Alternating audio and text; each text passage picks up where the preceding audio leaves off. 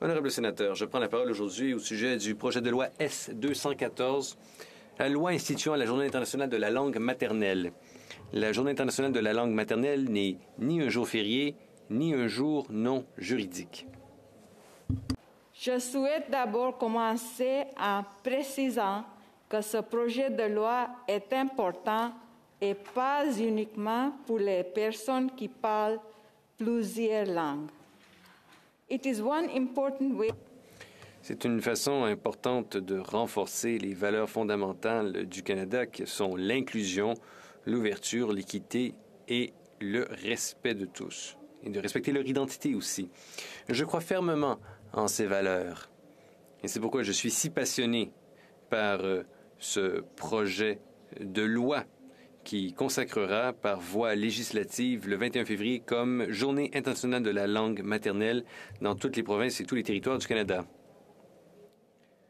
Emboîtant ainsi le pas à différents pays ainsi qu'aux Nations unies. maternelle me tient grandement à cœur. Toute ma vie, les langues ont été au centre de ma propre identité et de l'identité collective de ma famille au Canada.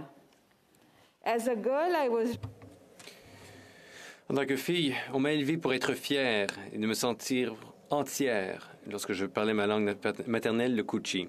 Aujourd'hui, en tant que musulmane ismaélienne, en tant que femme d'origine africaine et sud-asiatique, née en Ouganda, euh, ayant étudié en Angleterre ainsi qu'au Canada et habitant maintenant Vancouver, parler le Kochi demeure une fière partie de ma réalité, de mon identité canadienne.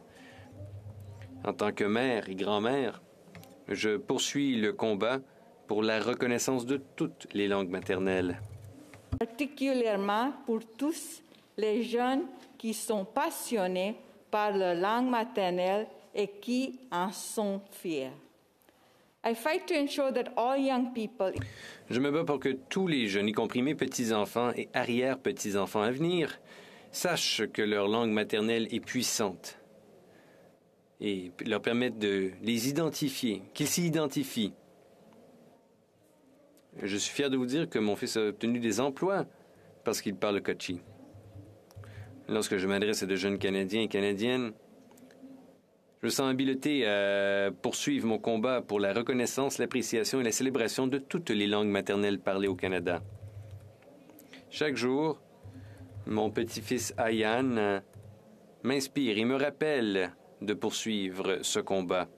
J'aimerais partager avec vous ce qu'il a soumis au comité sénatorial permanent des affaires sociales, des sciences et de la technologie pour expliquer pourquoi cet ancien projet de loi est là ben, maintenant le projet de loi actuel est si important pour lui.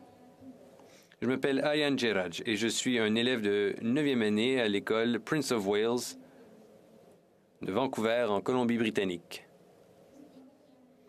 Ce projet de loi sur la langue maternelle est très important pour moi car ma sœur et moi sommes encouragés par nos euh, parents et grands-parents à parler notre langue maternelle. Je ressens la force de mes liens avec ma famille, avec mes amis, avec mon pays, lorsque je peux parler le Kachi. Ce projet de loi permettra à tous les Canadiens et Canadiennes, quel que soit leur âge, de parler leur langue maternelle. Avec euh, mes... euh, nous parlons aussi l'anglais et le français à la maison, mais nous voulons aussi pouvoir parler le Kochi. Alors, en reconnaissant l'importance de ce projet de loi, honorable sénateur, qui consacrera donc le 21 février, eh bien, on va pouvoir se sensibiliser les uns envers les autres. Et ainsi, tous les habitants du pays en profiteront. Voilà qui est au cœur de notre identité. J'ai été ému d'entendre l'histoire d'une autre jeune personne, Anoushwa Nag, que beaucoup d'entre vous euh, euh, connaissez, car elle fait partie du personnel du sénateur Dalphon. Lorsqu'elle a entendu parler de ce projet de loi, elle m'a contacté et m'a dit à quel point c'était important pour elle de, de parler sa langue maternelle. Elle me disait pourquoi c'est un projet de loi significatif pour elle. Elle me disait Je suis une enfant d'immigrés du Bangladesh et une immigrée bangladaise moi-même, mais ma langue maternelle n'est pas le bengali. La première langue que j'ai appris à parler était le silati. Il n'a pas fallu longtemps avant que je perde la capacité de communiquer correctement en bengali, mais je conserve le Sileti comme principal moyen de communication et de connexion avec mes parents, que je chéris profondément. Il m'est difficile de limiter mon identité à une seule langue, même lorsqu'on me demande sur un formulaire de confirmer ma langue préférée. Avec mon partenaire à la maison, je parle anglais. Avec mon frère, je parle français. Et surtout, avec mes parents, je parle le sileti. Je m'identifie à ces trois langues, chacune pour des raisons très différentes. Les paroles d'Anusha devraient nous rappeler que les langues font partie de notre identité. De voir la souffrance ressentie au Canada et dans le monde en raison des répercussions de la pandémie à laquelle nous sommes tous confrontés. Malgré nos différences, j'estime qu'il est primordial que nous continuions de nous aimer et de nous comprendre mutuellement. As a woman who En tant que femme qui a fui son chez-soi pour venir au Canada, je me réveille chaque jour étant très fière de faire partie de ce grand pays. Cependant, je sais que cette gratitude ne doit pas occulter ma conscience des problèmes auxquels les personnes racialisées, en particulier les Autochtones, sont confrontées au quotidien. Tout au long de la pandémie, nous avons constaté que les voix, les idées, les points de vue des personnes autochtones ont pris une place centrale dans notre société canadienne. Les récentes manifestations et marches pour la justice nous rappellent exactement pourquoi il est si important que tous les peuples autochtones se sentent acceptés lorsqu'ils parlent dans leur langue maternelle à leurs amis, aux membres de leur famille élargie, à leur communauté et surtout lorsqu'ils affirment courageusement la vérité. Pour de bonnes raisons, plusieurs de nos célébrations traditionnelles au Canada ne seront plus jamais les mêmes. Nous faisons face à notre passé afin d'ouvrir la voie à un présent plus radieux et à un avenir meilleur. Une grande partie de cette entreprise consiste à prendre des mesures qui incarnent la vérité et la réconciliation. Je pense que ce projet de loi est une étape modeste mais importante de ce voyage. À l'heure actuelle, il n'existe aucune loi qui protège ou promeuve explicitement les langues autochtones, à l'exception de nos langues officielles, l'anglais et le français.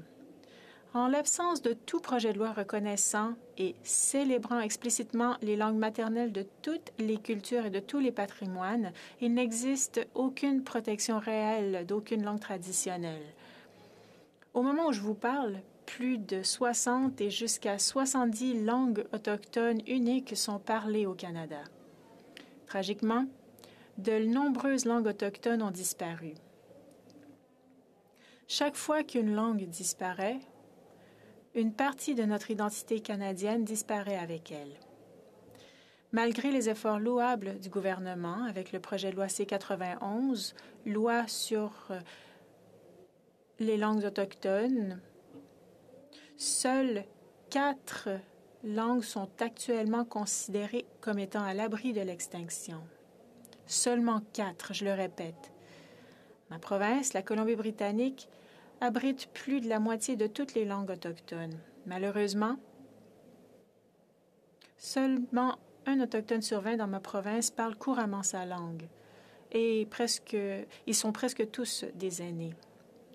Beaucoup de ces langues remontent à des milliers d'années.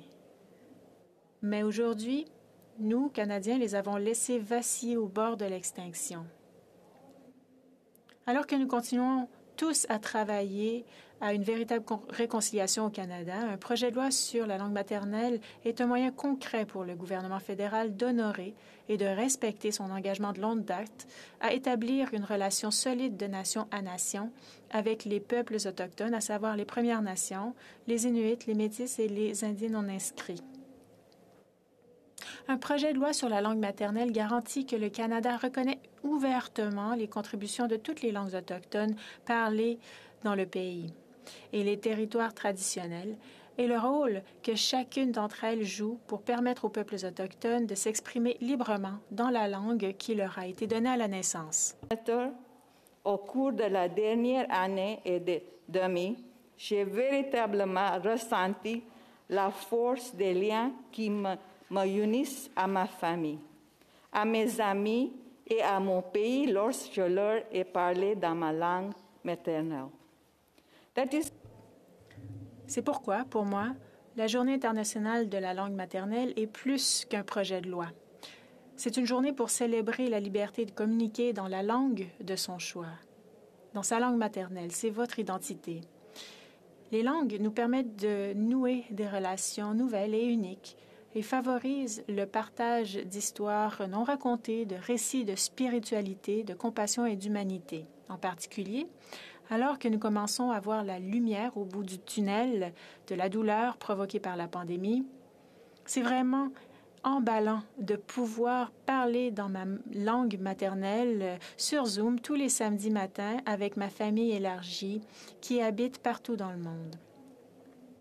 Ces conversations ont une grande importance pour moi et je ne souhaite rien de plus que de voir chaque personne au Canada se sentir libre non seulement de parler, mais d'être fier de sa langue maternelle. Je reviens à la charge aujourd'hui. Je veux que vous sachiez tout que je vais continuer d'essayer jusqu'à ce projet de loi soit adopté. Honorable sénateur, mon discours était très long et ça m'a pris cinq ans à le rédiger. Mais cette fois-ci, mon discours est plus court.